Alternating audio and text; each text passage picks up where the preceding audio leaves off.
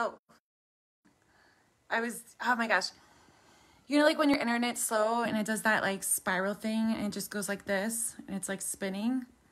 That's like my kryptonite. I mean, it brings me to my knees. I wish it just like would work or not work or work or not work. Just cut, just like get me out of my misery. Okay, hey. I'm making this video so I can show my new hairstyle. Um, it looks like I stuck my hand in like an electrical socket, but I did Pilates. So in Pilates today, I'm talking to this, can't even. I'm talking to this lady and I asked her, she said that she loves cold weather. And once I got over the fact that she was crazy, because who loves cold weather, I thought, oh, okay, well, why do you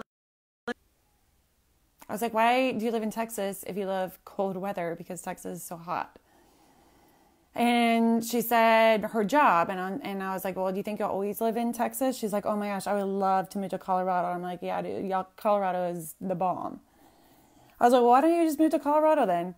And she's like, I, I just, I can't, I can't because of my job. And I was like, well, what's your job? And she said it was something really fancy. I mean, it was something fancy that I can't even regurgitate something with computers and I was just like, wow, that sounds really smart. And then she was like, she was like, what do you do? And I was like, well, I chill mainly. Um, and then I told her, you know, some stuff I'm working on. But I was like laughing because when she asked what I did, I was like, I chill. But I do chill. Like I have to keep my stress levels really low. So, you know, I'm just like a professional chiller and relaxer. I like study relaxation. But where I'm going with this is it's like she won't move to Colorado because of her job. But she loves cold weather and it's not it's not whatever and she didn't even say she loved her job. She said she liked it. And somewhere along the way in our life, all of us do this. We we become so certain we can't do something that would make us happy for like some reason that doesn't make sense. She likes her job. But she could find a job in Colorado where she really wants to go that maybe even she liked better. But somehow we get in this little box where we think that that's not an option. This also happened to me. Like when I was 28, I went gallivanting. Is that a, is that a word? I went traveling all over the world, um, whatever. But it started because I went to Brazil on my one week of vacation and I met this dude, and he had been traveling through South America. He's super hot. And he was traveling through South America for like six months. And he was telling me this story, and I'm just like listening to his every word. And I was just like there on my one week vacation from my super corporate job that I made good money at in Dallas, Texas. And I, he's telling me this story, and I was like, oh my gosh, I would love to do that. Like, I wish I could do that. And he looks at me in all seriousness, and he's like, well, why can't you? And like, it just never occurred to me that I could do that. I mean, it just, I like, no one told me I couldn't. Nothing was really stopping me. I mean, I had a great job that I liked a lot, had a great group of friends in Dallas, Texas. I was from Texas, but I was just like, oh my gosh, like him saying that to me changed my life because it gave me a new perspective of like, well, technically I could. Like, it put me out of my box. It stepped over this invisible boundary. And, you know, it's just like you really can do anything.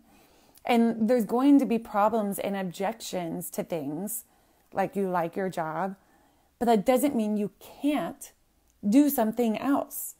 It's just like a a something to solve, like something in the way, like a a uh, obstacle. That's the word I'm looking for it's an obstacle, but it's like ultimately, like if you have this dream life of something that you want to do and you say you can't, the thing is you can. There's just obstacles in the way. And that becomes, that's where you just need to start problem solving. But it's super empowering, like empowering to decide to actually go for your dream, to actually decide it's possible to like get get out of this space of I can't to either I can but I don't want to because I actually like what I'm doing better and that, um but anyways, it's just like we're all we're all just like one perspective away from a completely different life. Like even even stupid pers- not stupid perspectives, but it's like someone can think like, "Oh my gosh, like my body sucks, so I'm never going to get into a bikini or a bathing suit." And or like, "Oh, I can't date anybody until this," or "I can't be happy until I lose weight." And it's like you have this perspective this belief that you can't do something until this, or you can't do something because you're something. If you just get, if you just like get out of that box and like switch that perspective and you're like, is it possible that maybe I'm not that? Or maybe I do deserve this? Or maybe I actually can do that? Like, why do I think I can't? Or like, maybe I can be happy now and once I get to my goal like it's okay to be happy at each. Like why do I think I'm not allowed to be happy now? Um anyways, but it's just like we're one perspective away, seriously one perspective away from a whole different life. Like the guy that thinks he can't date a girl because of I don't know, he thinks he's ugly. It's like if he just changed his thinking of him being ugly, like his whole world would change. Same with a girl. Like if she thinks she's fat or disabled or or or or if she just changed her perspective on that, like life just will be completely different. So anyways, it's just like being you can't fix something you're not aware of. And it's like just being aware of these limiting beliefs, expectations, rules, um, obstacles, like these things that we think mean we can't do something and just change that perspective of like maybe the opposite is true or maybe I actually can do that thing I'm dying to do.